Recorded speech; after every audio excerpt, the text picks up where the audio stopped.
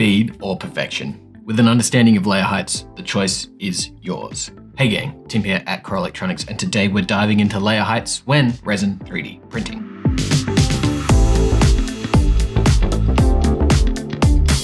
To be clear, layer height is the thickness of each layer of cured material. This is in the z-axis. Layer thickness in 3D printing should not be confused with printing resolution is dependent on the resolution of the masking LCD screen. Any traditional resin 3D printer like this Creality one next to me will let you print with a layer height between 10 to 100 microns. Between these two limitations is where resin slicers most commonly default to slicing your models with a layer height of 50 microns. I will demonstrate how to alter the layer height in slicing software and make you aware of carry-on effects that need to be accounted for whenever doing this. We're also going to dive into other methods to increase the speed of your resin printer. Allow me to properly introduce my small crew of Kirby's and other test pieces.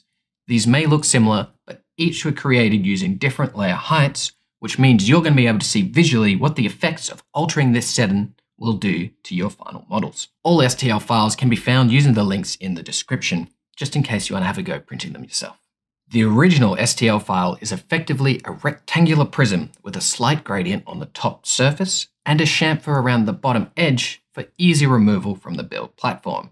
These have been printed directly onto the platform with no supports. The only meaningful final difference between these models is how accurately they represent this tiny slope using the layer height chosen. This tiny slope has a tiny gradient of 0.024. This layer effect is especially noticeable on very tiny details, angled edges, and curved edges. Layer height reveals itself as obvious steps when it tries to represent these angled and curved top surfaces. This is due to the fact that 3D printing creates three-dimensional objects through multiple stacked two-dimensional slices.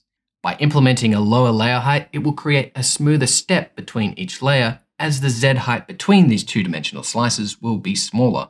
Now, truthfully, this sloped test piece was created in CAD solely to put emphasis on the fact that printing in layers will almost always prevent absolutely perfect representation of CAD design, unless the created CAD design has ideal dimensions. So let's demonstrate models that a resin 3D printer would more likely attempt to create.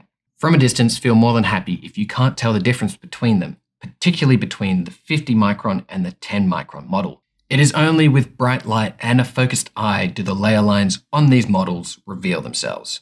For models like this, it could be argued that a small layer height is not all that important, particularly when you consider that the 50 micron layer height model took around 4 hours to print, whereas the 10 micron took more than 24. But if you're printing smaller figurines, like 28mm scale models, a low layer height is very valuable, as that will ensure that all the detail can be captured. There are times when altering layer height really makes a big difference and times when it doesn't. To alter layer heights in Lychee, you're going to need to click on the 3D printer button found at the top left of the window. This will open up the window showing the printers you have set up in Lychee. As you can see, I have the Creality LD002H printer set up and highlighted. At this point, click on the Edit button. Once you press that button, you're going to see the following window overlaying the printer and resin menus. This is where you can customize all kinds of values.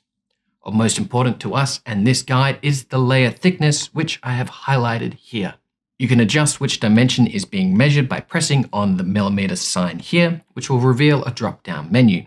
This will let you work exclusively in microns. Otherwise, remember that there are a thousand microns in a single millimeter. Any integer value between 10 and 100 microns will work well with a good and correctly calibrated resin 3D printer. If Chitubox is your preference, let me show you exactly what to do. To adjust the layer height in Chitubox, you're going to want to do the following. Click on the big setting option found in the middle right of the screen. In the settings menu that pops up, navigate to the print tab. On this tab, you're going to be able to adjust the layer height in millimeters. To make sure your resin 3D prints come out perfect, there's a couple of things to keep on top of whenever you're altering layer heights. In particular, layer exposure times. Optimal layer exposure time dynamically changes as layer heights are altered. To have the optimal value for bottom and normal layer exposure times, you're going to need to run some exposure test models. Also worth mentioning here is the guide Finding Optimal Layer Exposure Time for Perfect Resin Prints. Check in the description for a guide to learn how to find these values using models like these. When 3D printing a model, the bottom layers are the first few layers that are exposed to the UV light. If you print smaller layer heights, you will want more bottom layers. Just by being aware of this and accommodating for it, you won't end up with prints falling off the build platform. On screen now are my general bottom layer amounts that I have been using for this monochrome 3D printer and resin combo.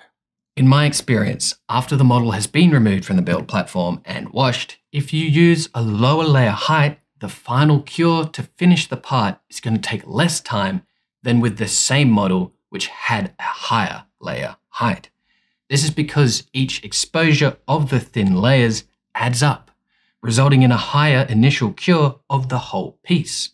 Lower layer heights mean much more layers and much longer prints. This results in a higher chance of failure and puts more strain on the printer hardware as it needs to do significantly more work to create a single 3D print. So I've been focusing a lot on getting perfect STL model representation out of resin 3D printers. But if speed is your dream, then speed is what I'm going to give you. If you've already maxed out your layer height on your particular resin 3D printer, then I have a tip.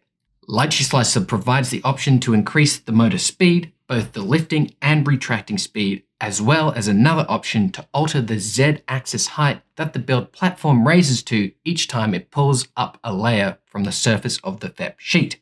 The location of these settings are in the same menu location as the layer height settings. Tuning these by increasing the stepper motor speed in both directions and lowering the maximum height of the raising build platform, you're going to achieve speed nirvana.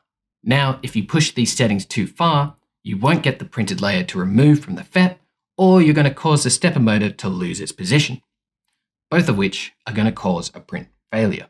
Just keep that in mind and adjust each setting by small increments over a number of test prints.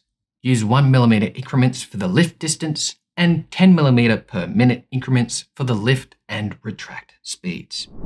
Fundamentally, you now have the tools to decide whether you want the fastest print possible or if you want the most accurate representation of your design, speed or precision. We have learned that big geometric shapes don't require the highest level of detail that these awesome resin printers can produce. With my 3D printers working better, faster, and more accurately than ever, I hope I've provided you the details to do the exact same. If you need more information, pop me a message down in the comments section or at our Core Electronics forum. We are full-time makers and here to help. So, until next time, stay cozy.